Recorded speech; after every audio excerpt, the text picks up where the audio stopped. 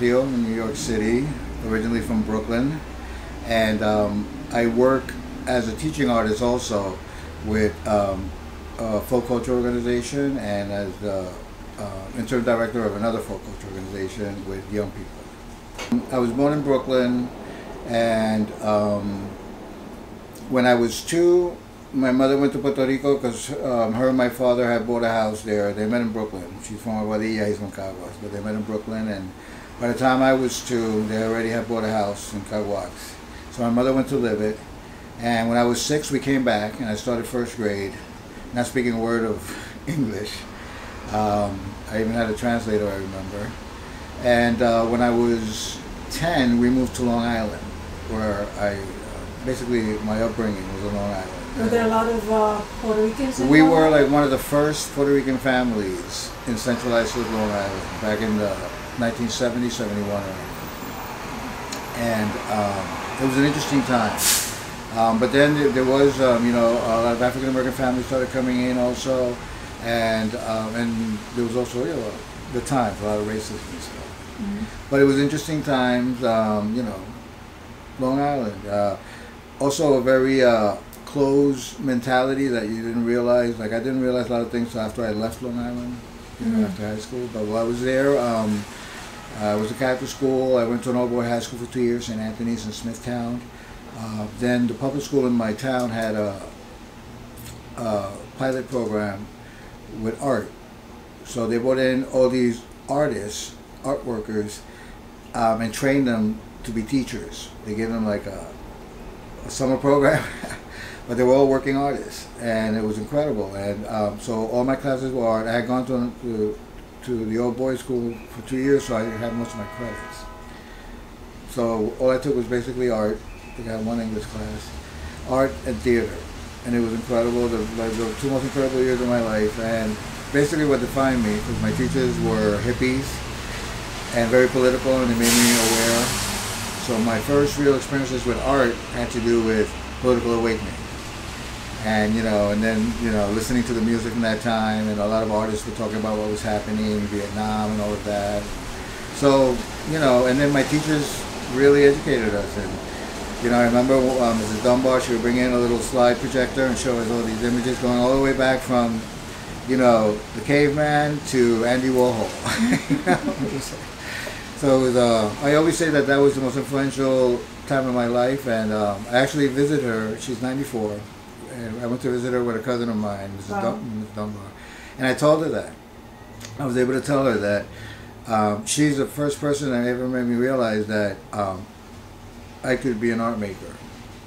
So, when did you when did you have that aha moment that you you wanted to be an artist, or or was it something that you knew at some point, or or was it something that just sort of evolved? Yeah, I think I think in my case it was kind of more organic.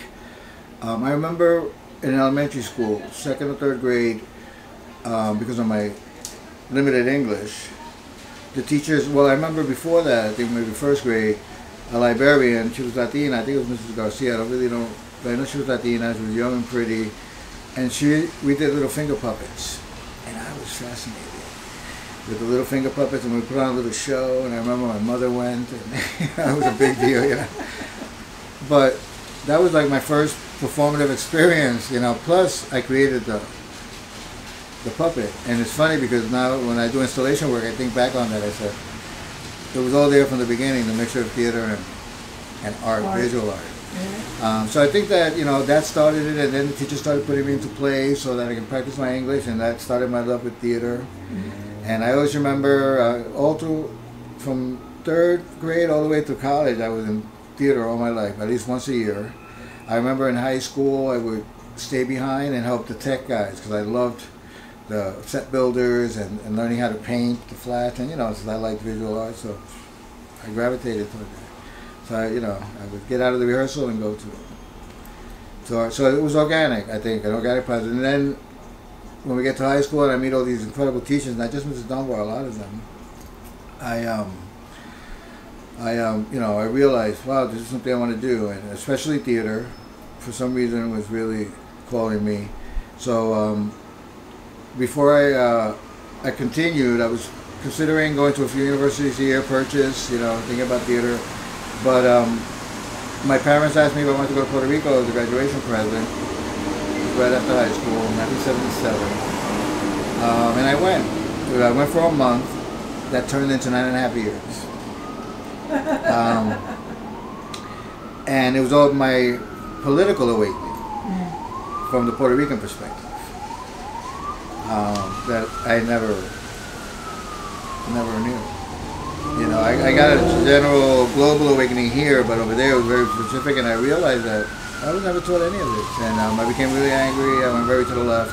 Who was your biggest political influence at that at that point? At that point in my life, it was Julia de Burgos. Um, and interestingly enough, I, when I first got there, somebody gave me a poem of hers called Yo misma fui mi ruta. I never, I didn't even know who she was.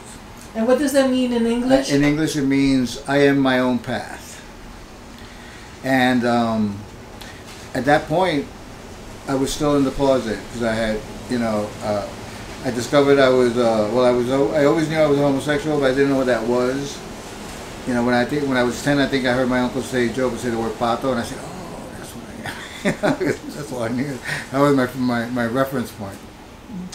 But by then, I you know, I was really thinking about it and um, and thinking about you know, opening up to my family. And after I read that poem, Yo misma fui mi ruta, that was what convinced me, because she has a line there that says, Yo quise ser como los hombres quisieran que yo fuese, un intento de vida, un juego al escondite con mi ser. It's like, um, I, wa- I tried to be like men wanted me to be, an attempt at life, a game of hide and seek with myself. And I was like, you know, I came out of the closet. and then I kept reading her, and she's political, and she talks about Albizu Campos, and she talks about, you know, you know, um, the system, lo que estaba pasando, and, you know, and, and so, you know, that was my awakening politically, you know, in many, many ways. Yeah. And um, to this day, she's one of my favorite Puerto Rican writers.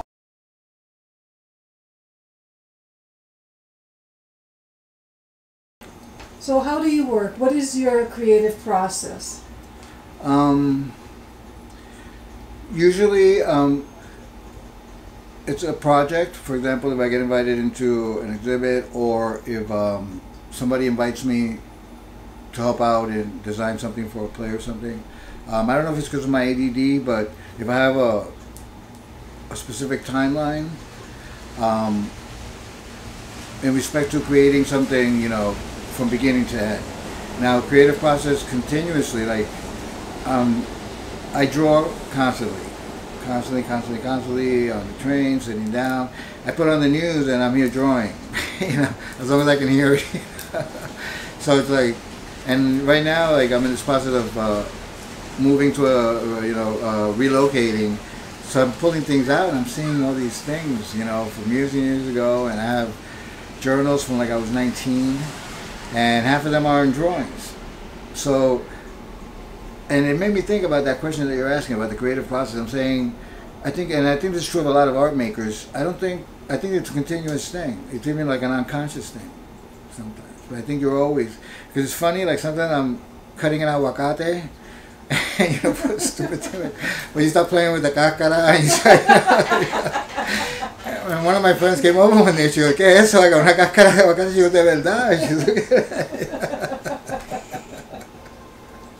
So I think that that's the process for me though like i'm very goal oriented and i think also because of my background in theater the beginning middle and end mm-hmm. so um, so i have projects in my mind like um, usually an installation like i have two installation um, design ideas um, uh, and for writing like uh, with theater i've been working on a musical about a woman from el barrio called linda feliciano I, um, she came here in 1939 she was 16 she met a puerto rican crooner um, when she was when she got here, and uh, his name was Daniel Santos. He's well known.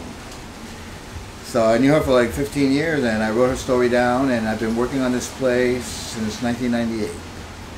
So one of the uh, projects now, for example. So again, that creative process has been taking all this time. It's Mhm. been, you know, um, mostly because it's been a personal project.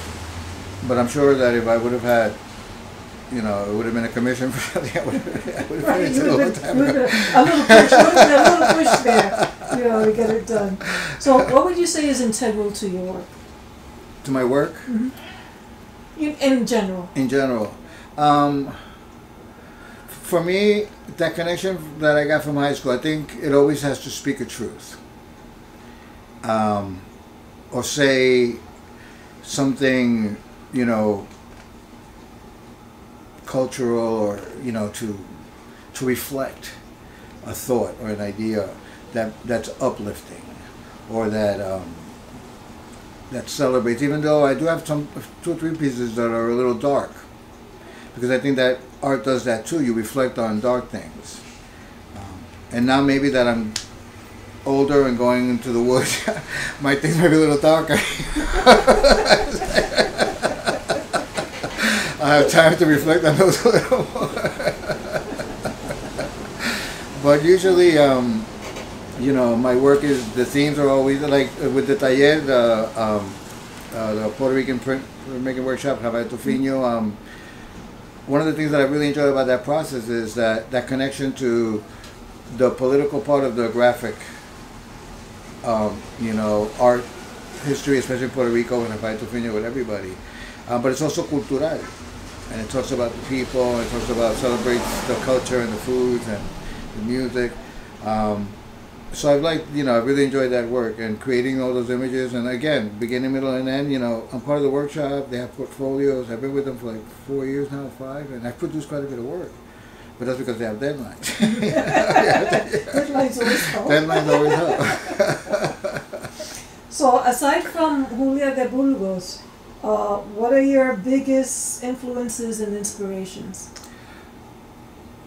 Well, Pedro Albizu Campo. Um, in respect to like uh, a political understanding of the plight of people. Um, even though, like back then when I was younger, I was very politicized, and but now that I'm older, I'm a little more, you know, because I, I grew up in Long Island. I have friends from all over the world. My nieces married guys from all over the world, so we have a United Nations in my family. So you start realizing that we have a lot more common things in common than apart. You know, so, but what Pedro Albizu Campos, you know, influenced me in, in that respect is that um, you have to fight for what's right and, and for justice.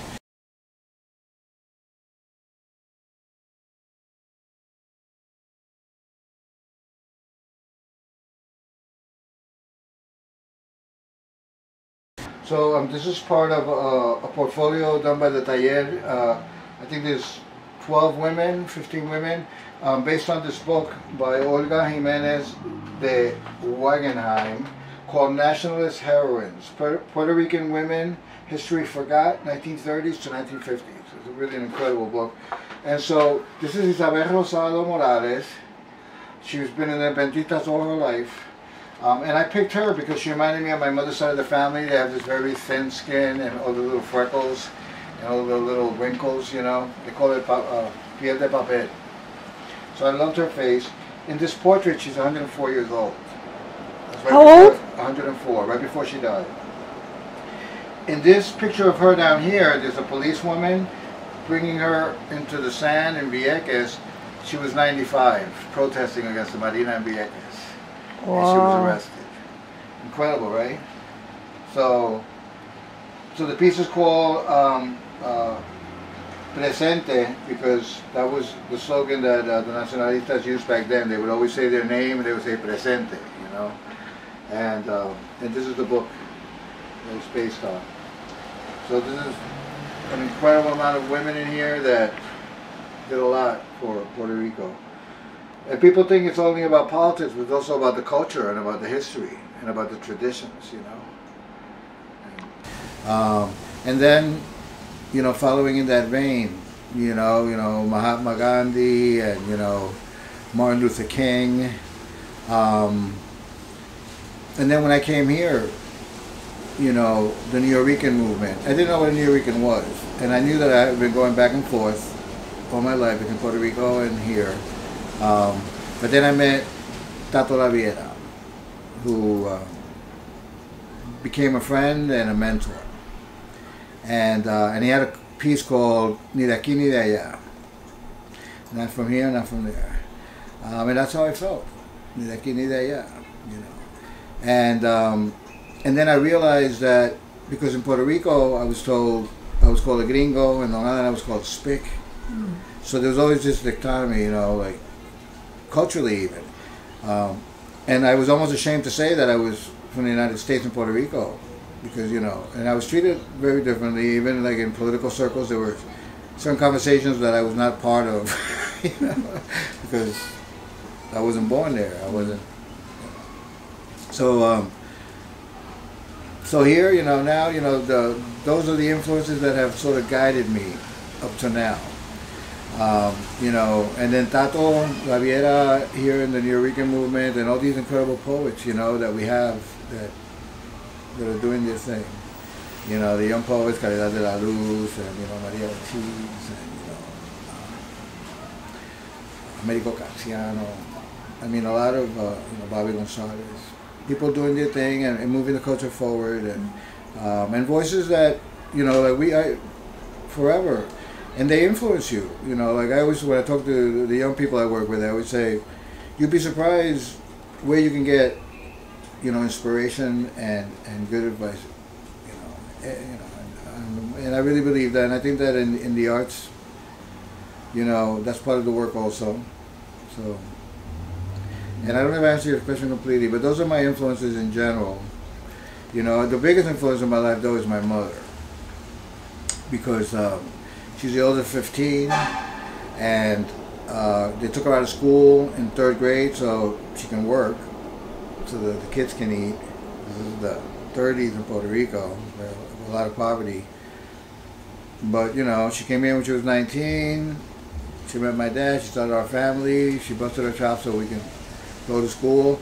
And she always, always, always believed in me because let me tell you, being an artist and being a homosexual in the Puerto Rican culture is not easy especially back in those days.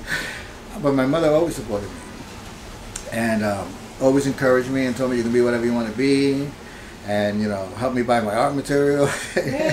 So sewed my costumes for the yeah. for the theater. You know my old man never went to see a play I was in but my mother went to all of them. Really? Oh yeah yeah because it was not a thing that you know men did. You know the machismo how would you say your personality is reflected in your work? Um,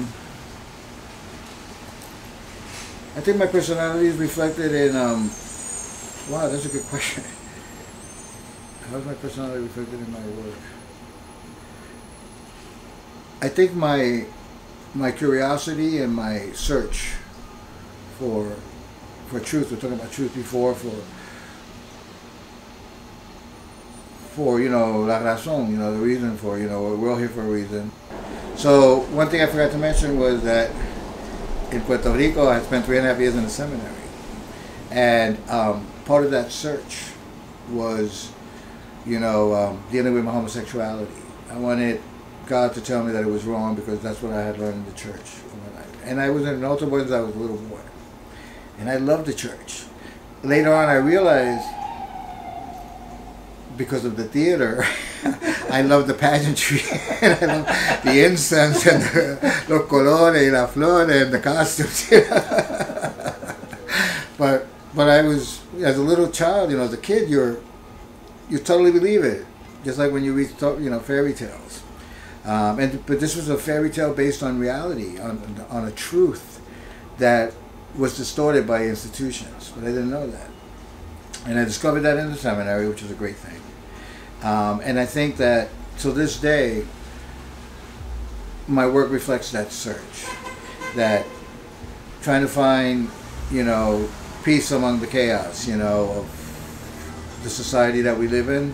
But at the same time, having this really strong sense that um, there's a lot more than that.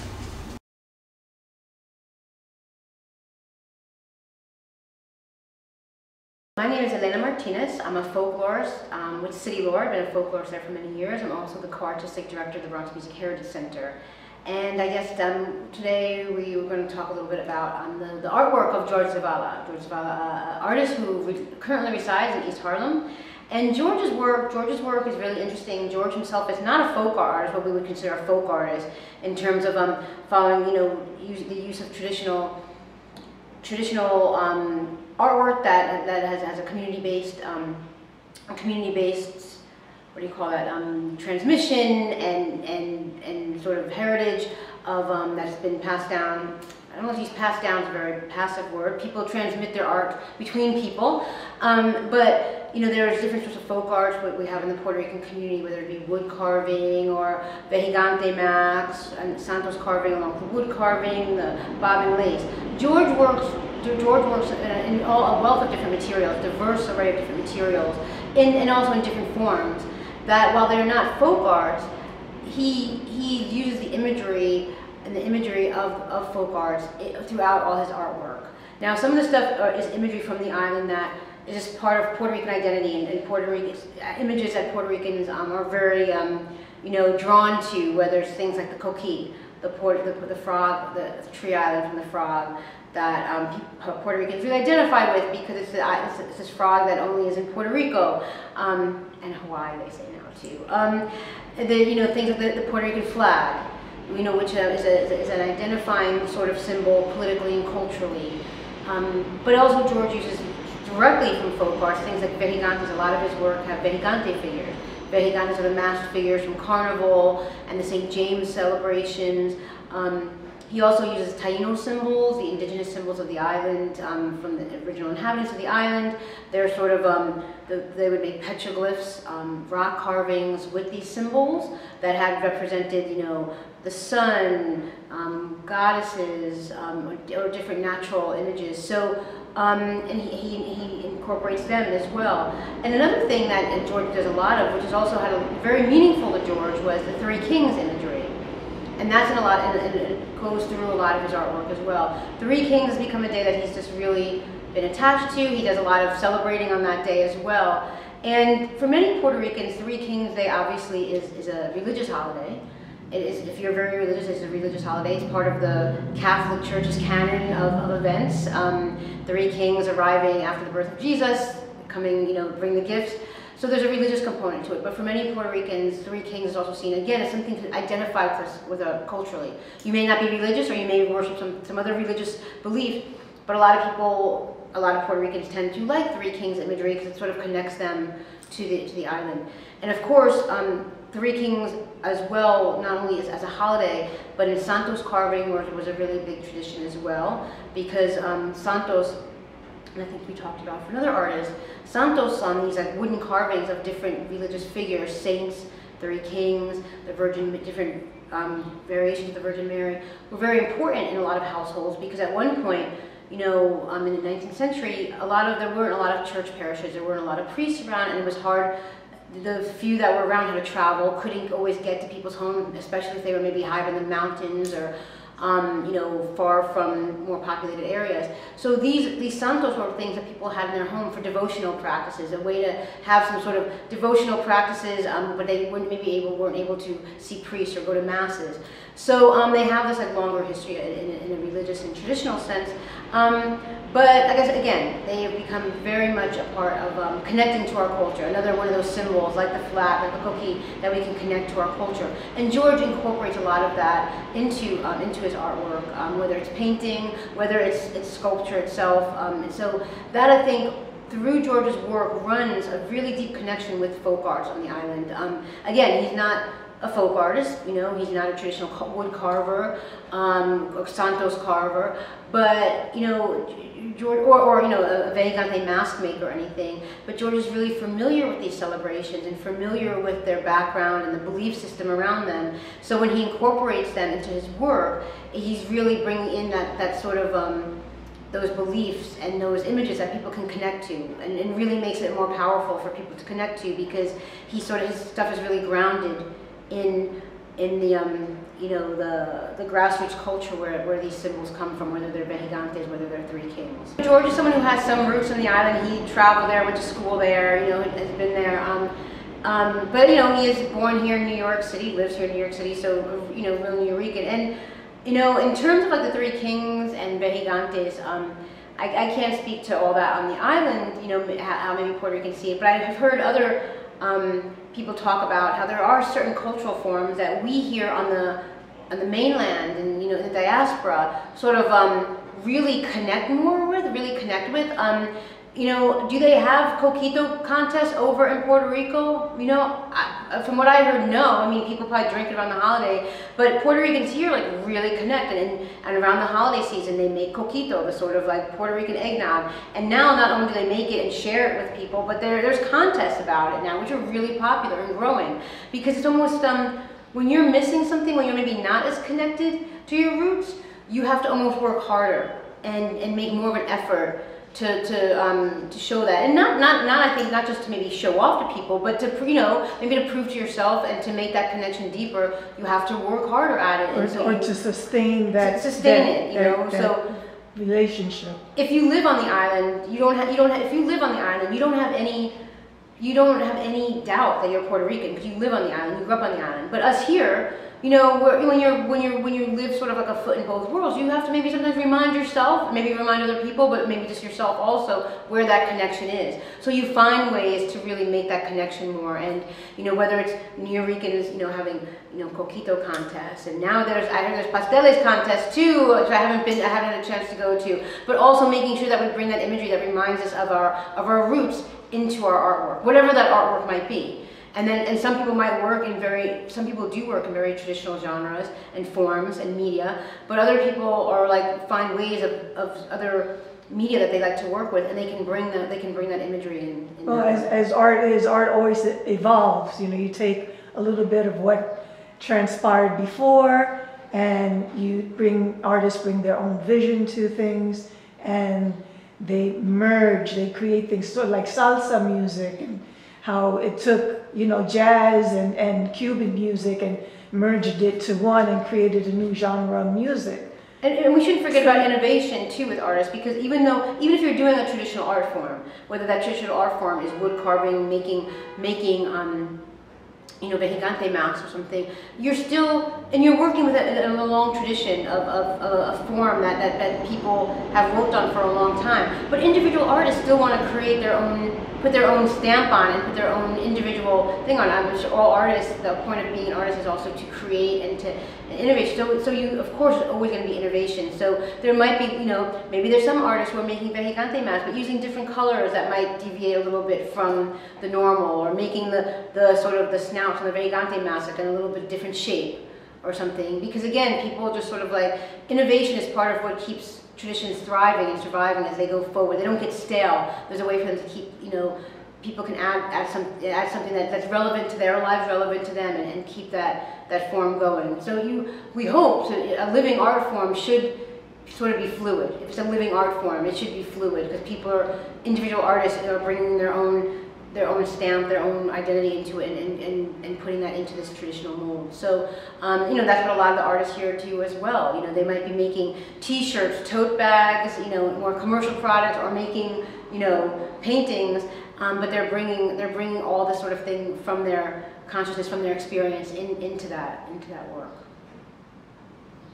Is there a common theme that runs through your body of work? Um, well, you know, it's funny. Um, the eye, for the past few years, has been running through my work. Why? Um, why the that's eye? That's the interesting thing. Well, the eye is because, well, first of all, I think it's again we were talking about the spiritual. This is third eye, which is one of the things that uh, that I think it connects to. But I think it's also about, like you know, the gaze. You know, um, when you paint, you know, you really, well, when you work in the arts, uh, as you know. Um, the eye is a very important part, you know. And, and when you work with a human image, you know, the eye is an important part. So it's about gazing out, but also gazing in.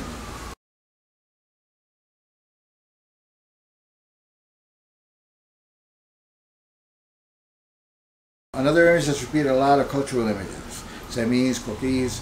That's like the residue from Puerto Rico. And I remember years ago, and uh, another artist told me, ah, that's like very uh, touristy. You gotta give up those.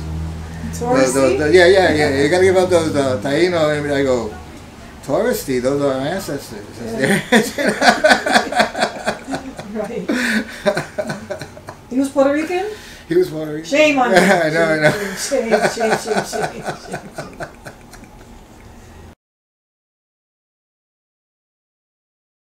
So, what what role does your work play in society? Oh, I don't, I don't know. You know, it's funny. Oh, I- what, what would you what would you hope? Okay. Um, you know, it's funny because, like, I, I call myself an obrero del arte because the word artist to me is a little pretentious sometimes. Mm. You know, maybe because of the way it's been used historically also.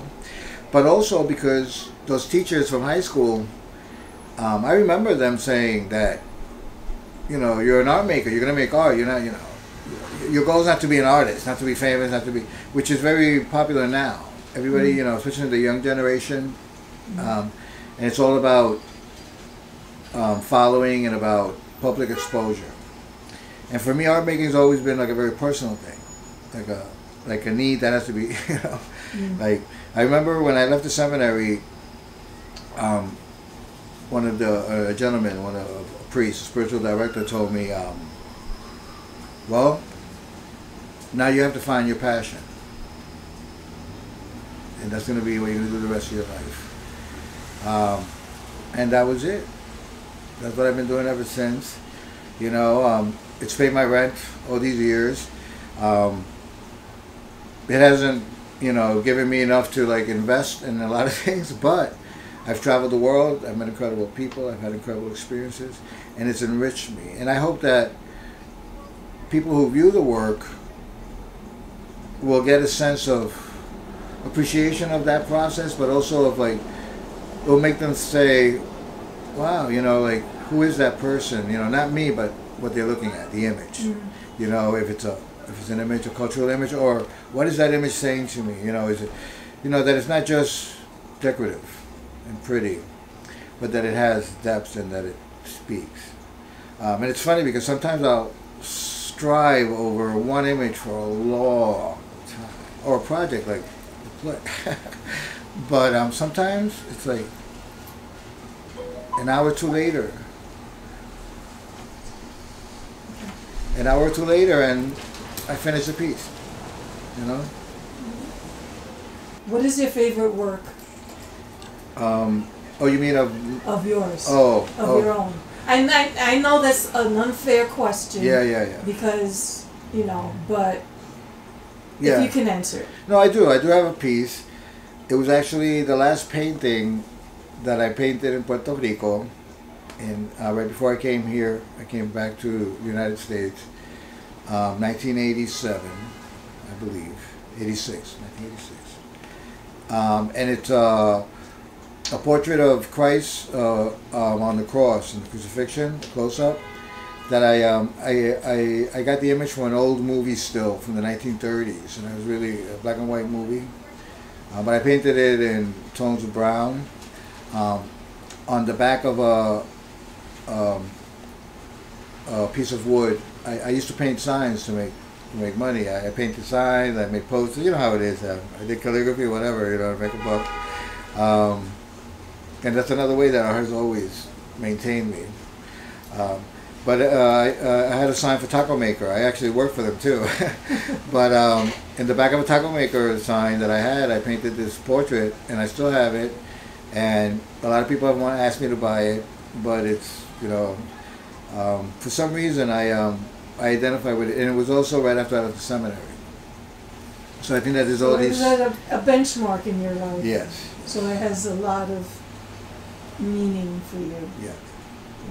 aside from the obvious Yes. artistic. Yes. Yes. Yes. Yes.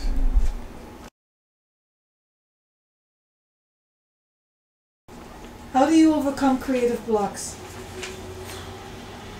Well, you know what's interesting? What's I think what has saved me is being a teaching artist because you always have to teach other kids. You know, you're doing projects. You're always so they they kind of always keep me on a on a roll. But there are creative blocks, like for example with the writing, like with this piece.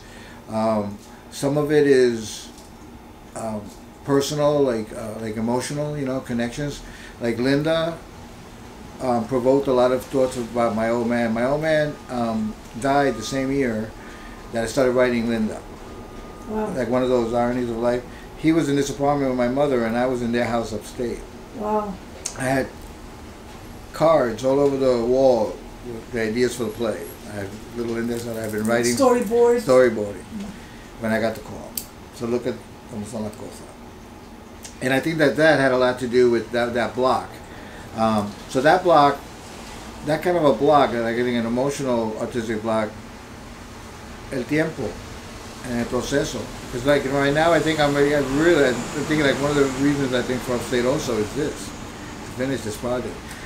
But then there's other blocks like when you have a project to finish and you have to do it, and you just, you know, well, for me, two things, I, I meditate, and that really helps, because sometimes it's just some too many things happening, too many thoughts. Mhm. Um, and when I quit smoking in 2007, I was diagnosed with ADD, which made a lot of sense. I had no idea, but she told me that you know a lot of people, um, especially my age, weren't diagnosed because there really wasn't much of a diagnosis. Even though, um, like the Ritalin has been on the market for over 50 years, and the safety record is pretty good for for that drug. Um, and she told me something interesting that 80% of art makers have ADD. She said, if not more. And she goes, even if you go back and read stuff that was written by like Michelangelo and all these guys, she goes, you can make an ADD diagnosis just based on their writings. so it makes sense, you know. And uh, so it's, a, it's, a, it's another way of thinking, and um, and, and I've been dealing with it. So that that forces me to, you know, to to deal. And uh, meditation helps, and um, you know that deep breathing and that stopping all the. And interestingly enough, there are all these scientific studies now, uh, because I've been looking at you know substitutes for Ritalin, and you know what? The the only thing that is just as effective is meditation. Oh, and, and that's something you And that's something, were doing.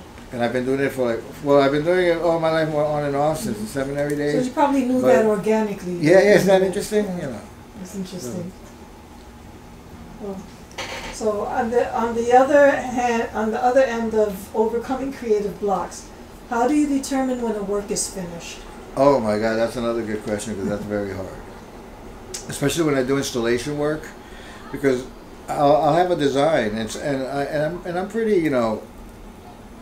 I think I'm pretty good at you know where everything's gonna go and being exact with my design. But then once you get there and you start setting up, and things start happening, uh, or you're finishing up a piece, and all of a sudden you know you're like, no, this is not. You know, there's something that Doesn't feel that's right? off. Yeah, yeah, it doesn't feel right, and you're thinking, no, I don't. And I, I, I sometimes I work on a piece for a long time, and then I just put it aside because, and then, you know, especially for installation work. Like a lot of the stuff here, like the table, the piece you saw when you came in, that's all part of installation.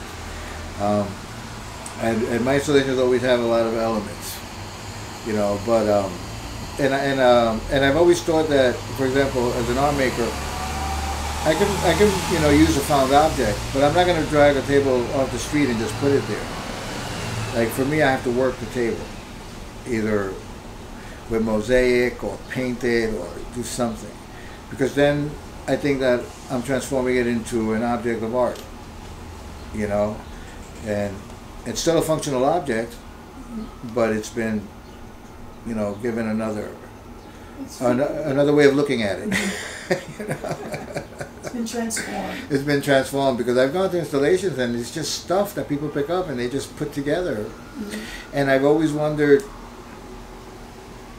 I mean, I understand, like as an art maker, the process, but uh, but like, I always thought that that's not as intimate as you putting your mark on it. You know, okay. It's just you just gathered all this stuff and put it together. That's nice, but where are you? You know, as the art maker, apart from the. 'cause I'm, I'm a little more visual too. I, I can't be so too esoteric and too. How has your craft developed over time? Oh, that's an interesting question. Well, you know, um, I think that art makers, like anybody, any profession, a teacher, a doctor, um, you're continually learning. Continually learning. You're always learning new techniques. And, um, an interesting thing is that I've realized through the years, not just me, but art makers in general, they they do many kinds of art. They don't limit themselves to one medium, and I think that that's important in art because you have to, you know, like I've done the same image, you know, three dimensionally and on paper and on, you know, so, you know, I think that you, that that kind of experimentation is important. So I think that by meeting other artists, like in the printmaking workshop, and um, throughout your life, you know, like uh, my friend Virginia that I was just talking about the muralist, um, you know, you, uh, you see how different artists manipulate different materials, and that, that that starts influencing your work and your art, and you start experimenting, and you become, you know, and you start realizing that there's different ways to work, and so I think that that's really made my art deeper and richer and um, and more um, more organic.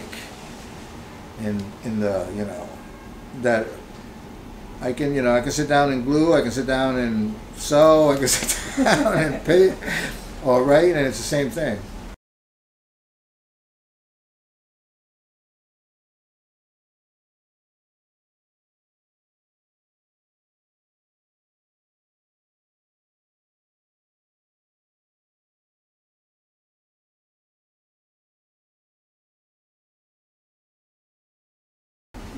But it, it, it, all of that is influenced, you know.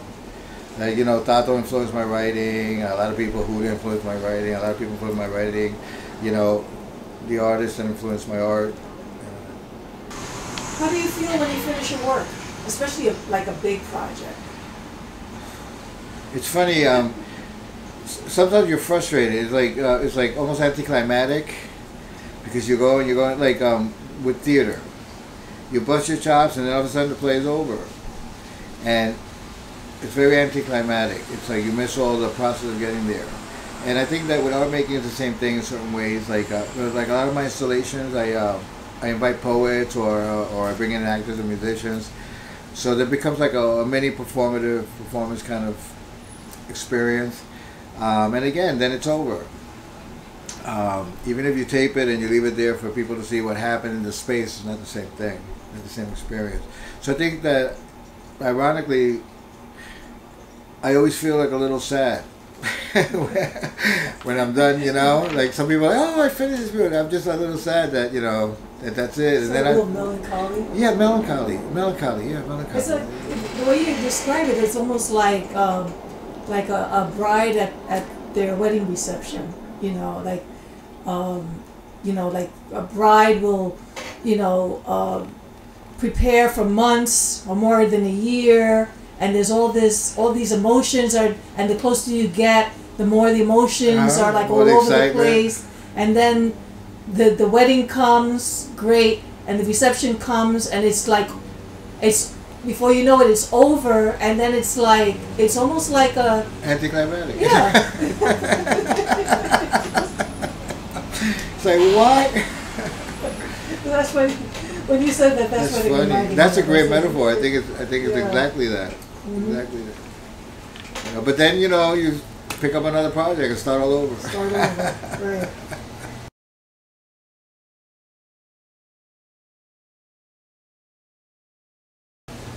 So, what was your uh, best experience as an artist? My best experience.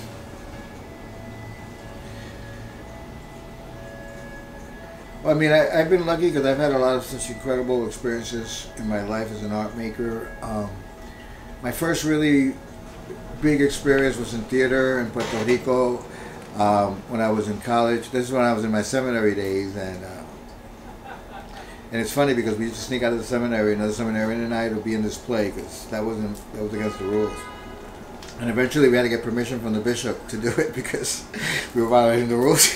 So, but the the play was based on. Um, I wrote it in a weekend when we were doing a retreat. It was based on uh, an American writer, James Thurber's comic strip called The Last Flower, and uh, he starts with the Tenth World War. I think it's the Tenth World War, the Third World War as everybody knows. Um, but I was in a seminary, and we were so we used that idea, but we started with the creation Adam and Eve, and followed the trajectory, and um, so that rewriting of it, it became an hour and a half piece in pantomime, 42 actors from La Universidad Católica de Puerto Rico, from the different departments. Uh, the students hadn't done a theater production there in over a decade. There was no theater no theater period. They had an auditorium, that's where we did it. Um, and it was incredible because we use multimedia, we use video. I mean, multimedia back then, I mean, slicing. Yeah. it was incredible, and everybody committed. And we had to go sneak back into the seminary. My co-director, Evelyn Oquendo, she would stay up with the guys in technology all night, splicing together a minute here, a minute there from different recordings for the soundtrack. Um, you know, we got uh, a professor of psychology who had a radio program, had an incredible. I thought it was a guy at first. I go, I want that guy to be my narrator. And my friend goes, that's a woman, and I'm going to introduce you to her. And we became best friends. So she's a, she added something to the piece, and we, it became like a movement because we became a big deal, and people started seeing our rehearsals. And by the time we went up, we had a lot of support in the university, and um, and the piece was political. You know, it even criticized the church. Um, and we use slides and videos and images and you know sound effects and and all in movement, no speaking, an hour and a half, just the narration. So I think that that was one of the most um, fulfilling um, experiences for me, in, you know, in art, because it had everything. It had all the art forms coming together, you know, um, and also very um, modern. You know, back then it was like a big deal, and uh, and I think that that really stimulated me also to think bigger when it came. Because I remember doing the lighting in Teatro La Perla. We eventually took it to Teatro La Perla in Ponce, and uh, uh, Luminotécnico, the the lighting uh, director, he told me, "Have you ever done film?" I go, "No, why?" He goes, "Because your vision is cinemascopic." But he was talking Yeah. about that Okay. that big, you know, Uh-huh. pictures. That's interesting, right? That. Um, so I think that that was the most satisfying for me. Of and then, you know, coming here and um, you know, all the experiences I've had. You know, working with different, um, you know, institutions. I, I um, commissions with City Lore after 9/11, and with uh, Martinez for. Uh, uh, Que Bonita Bandera, the, uh, the Puerto Rican flag is folk art. Uh, they commissioned me for an installation. Uh, my installation was called Más Bonita Se Viera, punto, punto, punto. and it was uh, uh, an homenaje to Pedro Campo. I did an exhibit years ago at Longwood Arts Gallery, and um, talking about found out, I found a one of those old wooden closets that look like a coffin. An armoire? It's like an armoire? Yeah, like an armoire. And I dragged it in, and um, and I made a piece about homophobia. Ah. you know, and I painted it black inside, and all these ugly words, and all this stuff, and then you know stuff on the outside, and um, and I remember that Juan Sanchez, Juan Sanchez, and he um, and uh, he uh, he did a little write up about it, and he and he mentioned that he said that um, um, that um, it was right there in your face, but it was rare back then. This is like ninety in the early nineties for Puerto Rican artists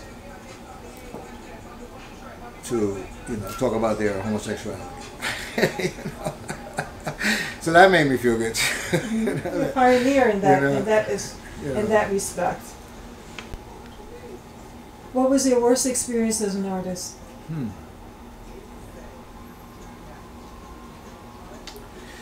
That's a difficult question to answer. My worst experience as an artist. Um, there's probably a few of them, but I think like one of the worst experiences was as a teaching artist.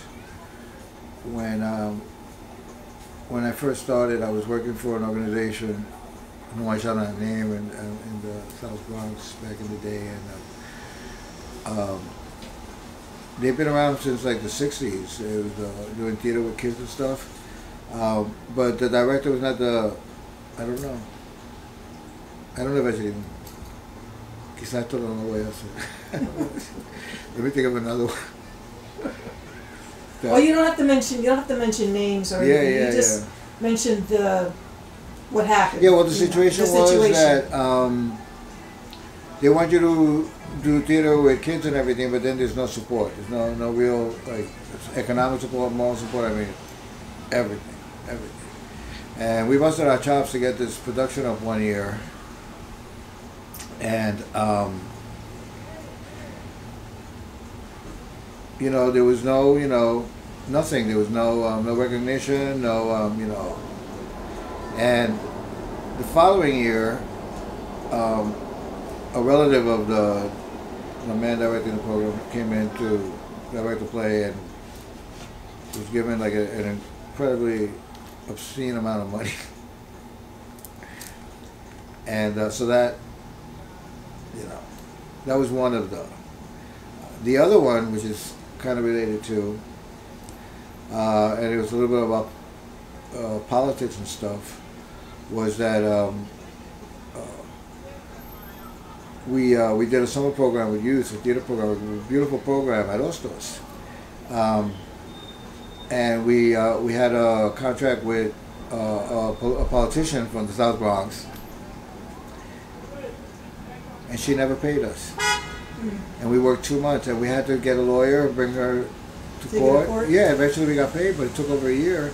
And that summer, you know, we're teaching artists, working, you know, check to check. So we had to borrow money from relatives and everything to pay our rent and do all that. That's, um, that was, I think those were the two worst experiences as an art maker.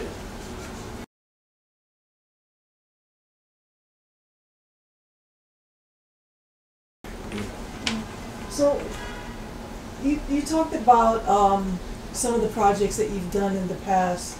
Um, what projects uh, are you thinking of or planning to work on uh, going forward? Okay. Well, um, Linda, the play, the musical that I've been working on, is one of the main projects I'm gonna, you know, this is my commitment because it's interesting. You know, um, I knew this woman all these years. She made me the executor of her will, and before she died, she told me, "Nene, la obra." And it's funny because she never presented me as an art maker. She always presented me as el escritor. so that project I'm going to finish. And you know, a quick anecdote: a year after she passed, her um, her home attendant, who was a, a woman from uh, Guatemala, I think, she's the one who gave her this cat. This is her cat that I adopted. Um, she calls me. She goes, "Ay, uh, señor George, estuve en sueño con Linda." Le digo, sí, ¿qué pasó? She goes, ella me dijo que le dijera que terminara la obra. That's funny. And I told her, eso no fue un sueño. ella me lo dice a mí todas las noches. so that's one project that um, that I really want to finish, and also because I think it's um, it started out being the story of her life, but it's really the story of the New Rican and how we got here. Because she was one of the first real New Ricans. You know, because there's New Ricans that came here young from Puerto Rico, there's New Ricans born here. That's a whole other thing with the New Rican thing. Uh, I learned a lot of that with Tato Laviera and with Caridad de la Luz. Um, then I, um, I'm working on um, an installation that deals more specifically with like homophobia and um, because that was really a big part of my growing up and and it's like it's like you know living in fear basically you know when you think about a lot of these. So that's what I was uh, referring to a little bit before I was saying in the words I might do something dark. But it was but you know reflecting on those things. And um and uh, I've had I have these designs for years and I even have a title going to be called Pato el que quiera escuchar And in English, that translates to Forget about it now. um, for all who want to hear, but in Puerto Rico, the word pato is a slur for homosexuals, uh, a duck, because ducks walk. Not often. But I'm playing with the word. So, you know, pato, el que quiera escuchar. So those are my two main projects right now. Um, and I'm also, um, you know, trying to figure out ways now that I'm going to be living differently, how to make um, more um, more time just to to make art and to exhibit it and to you know like upstate when I go upstate, my nieces especially wanted me to, you know, and um, and also I'm going to start um, uh, merchandising some of my images, like in shirts and stuff, um, uh, as a way to um, to make money, which is important, but also I think as a way to like my niece told me to, so more people see the work.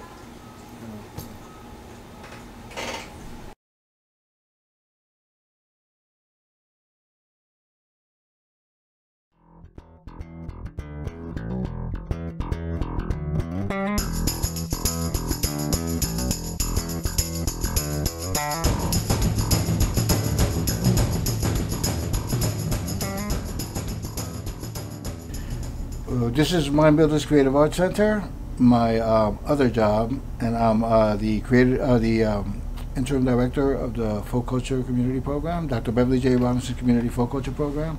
This is my fifth and last year here, and today we have um, a big annual open house um, festival and uh, art exhibit, which I am actually curating and hanging. I hung yesterday. So, um, and I'm here uh, trying to get stuff done for my um, for the exhibit today. Normally, I'm the interim director of the folk culture program here at Mind Builders, but today um, my role is curating and uh, the curator of this show, which I also hung. Um, this is a young artist, uh, young art makers exhibit, the first annual exhibit here at Mind Builders. It's going to be an yearly thing after this year and uh, we had an open call for young people. Um, um, 14, well, we actually have a 12 year old, uh, but young people up to 28, um, young artists. And it was an open call, um, no theme, uh, any art they wanted to submit up to three pieces. And so we have mostly three pieces from each artist, some of them donated one. Um, and what's interesting about the work is, um, well, first of all, that a lot of these students were full culture students of mine, so I'm really proud of them and coming through. And um, hopefully, this is the beginning of a um, visual arts project program here at Mind Builders. So um, the art is from, I have students who were here five years ago when I started, students who just came in this year, and then uh, young people that I haven't met yet. Um, if you go around and look at the art, it's incredibly beautiful, but it's also very political, very socially aware. Um, and an interesting thing is that we didn't have a theme for the show. So this is just what's happening to our young people today and what's in their head. Um, and I think it's a really beautiful statement of um, awareness. And I think a lot of the work that we do here, which is looking at our past to um, understand our present and to look at where we're going to be in the future. Did any of these students have uh, art experience before they came Um, into A lot of these students, the only art experience they've had is high school taking art classes. These are like the, a lot of these kids are the kids that always love the arts, um, but never followed it. There is one young lady, Diane Williams, who's um, one of our oldest artists. She's 27, and um, she's been making art since I've known her. And I do believe that she's taken some art classes in college. She graduated from college recently, uh, but not in art. But I think she had a minor in art. Um, and uh, these are actually her pieces here, which are very um, uh, incredible and deep and political. It's a, an original hand drawing by her, and then two prints that she had professionally made because she wanted to keep the canvases. And um, part of the project that we did here was basically to um, uh, hang the work, but also to frame the work um, and to present it in a professional setting so that a lot of them, this is their first exhibit, um, so that they have a sense of what it means um, to exhibit your work and how it should be exhibited. Uh, this is all, you know, eye level, all very, you know, done as much to the book as we can do it. Um, and also, they get 100% of the proceeds. So we're not um, charging anything at all for the services. This is Mind Builder's gift to the young people from the community. So is this um, the uh, what are the demographics for your students? The demographics are mostly um, African American, um, Latino, um, uh, kids from um, the Middle East, from Bangladesh, from India. Um, but, and for so that's basically the demographics. We have had um, Caucasian children in the past, so you know we don't discriminate. But basically, because this is the North Bronx, uh, there's a, also a very big um, African immigrant community here. So a lot of my kids are, are recent African immigrants. Uh, this past summer, we had a young girl who was uh, uh, part of the unaccompanied minors program. She literally crossed the border. So uh, she literally crossed the border um, to come here, spend a year in Texas, and um, was part of our program this year.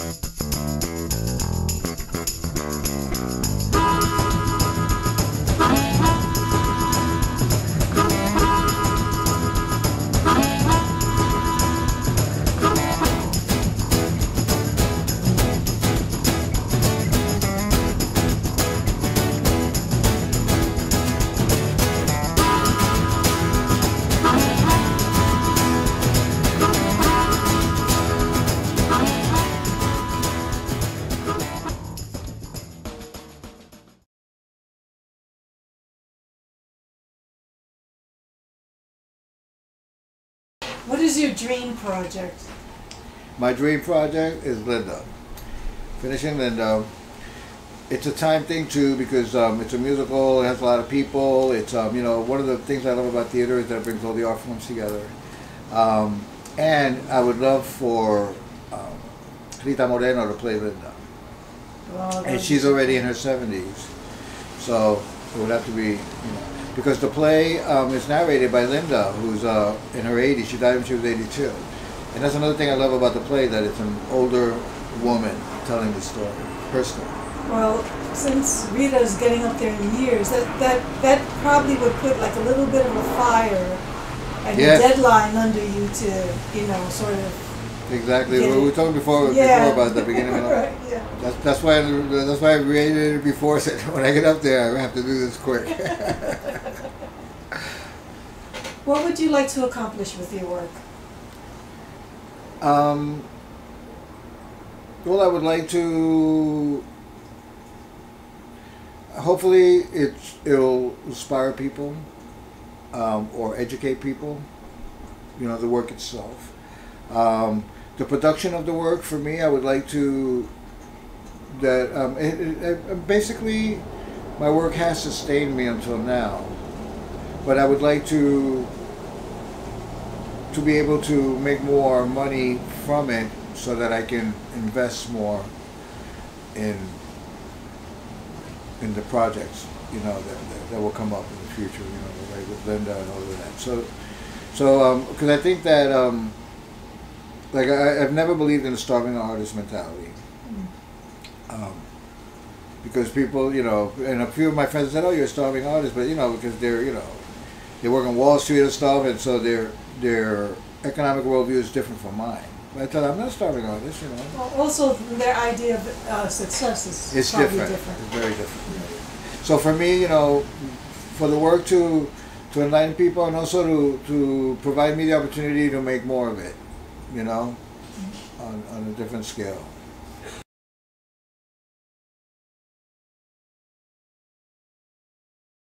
Why did you join PRIDA?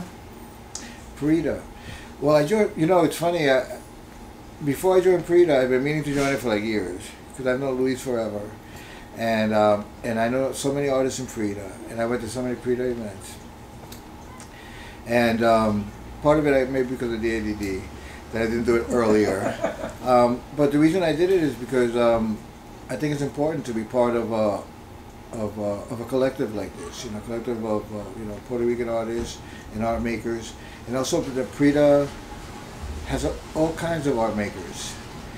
You know, there's not one specific type Genre. genre, yeah, and, and I love it. You know, from you know writers and Performing artists, performing artists and you know all kinds of um, visual uh, artists. visual artists, you know, and um, so so I think that that's important, and also the camaraderie of it, you know, and participating, and um, and I think that's important, and especially in our community to, to have that support, you know. So um, so I'm really happy that I did, and, and the opportunities, like I just had recently the opportunity to exhibit, you know, thanks to PRIDA, and um, and Prida does that for all the artists, which is incredible. So I think that um, you know, I'm glad I joined, and I think that's an important organization because it does provide a, a networking tool for everybody. Um, but also, uh, you know, uh, you know, meta mano, pa'lante. Yeah, you know. support, encouragement, Yeah, yeah a lot of support, encouragement. encouragement,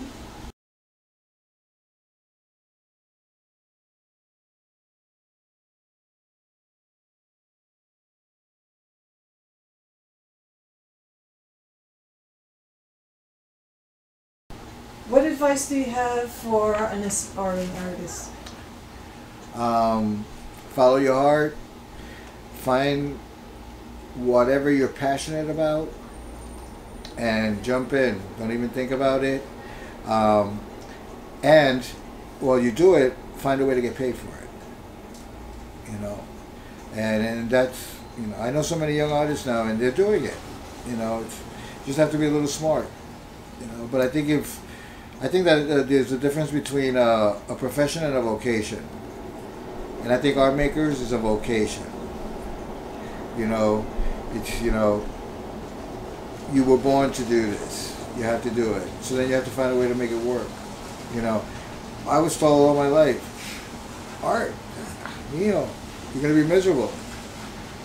And I've been blessed. You know, like we were saying before, like some of my friends are like, oh, I'm like, I'm not a starving artist.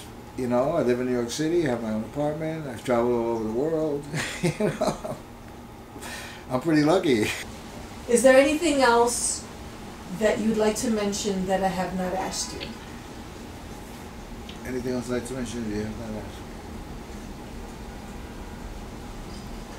Um, well, you know, um, working in like working in um, Spanish Harlem all these years, and you know, I'm not going to wax poetic about the artists and the art scene. I mean, we're Boricuas and we're hot headed and we're passionate. but art makers are art makers are art makers, and um, and I've learned that, you know, and and, and you can love somebody who's a curmudgeon, you know, um, through their art, Yeah. you know. So to me, that that's been like the biggest learning, and what I- I'm taking upstate with me from El Barrio, you know, and all the incredibly esoteric and, and diverse um, art makers that we have here. A beautiful, beautiful bunch of locals.